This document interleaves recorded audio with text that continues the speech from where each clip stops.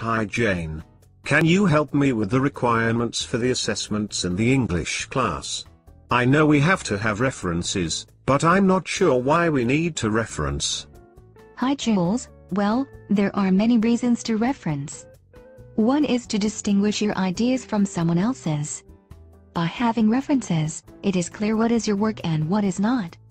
Okay, and I guess I can also cite different points of view? And the teacher also said that by referencing, the credibility of my writing will be improved. Yes, but make sure they are reliable references. So, don't use Wikipedia. Instead, journal articles will show you have done background reading and your writing will be trustworthy. Okay, and I should also integrate the references into my essay? I mean, I should not just summarize each article and then put it in a paragraph. Instead, I can compare and contrast.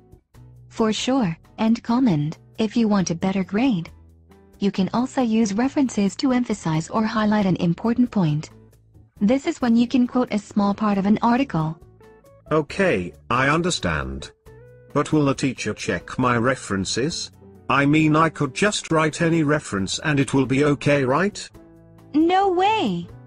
Your teachers see hundreds of essays and they know what is a good reference and what is a bad one.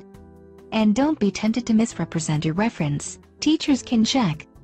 Okay, I guess referencing also helps people find background information, as well as respecting the work of others. If you just take, it's the same as stealing. That's like a thief. I see you are learning fast. Yes, referencing prevents plagiarism. And there's one more thing, it's a requirement for the assessments. No citations equals a very low grade.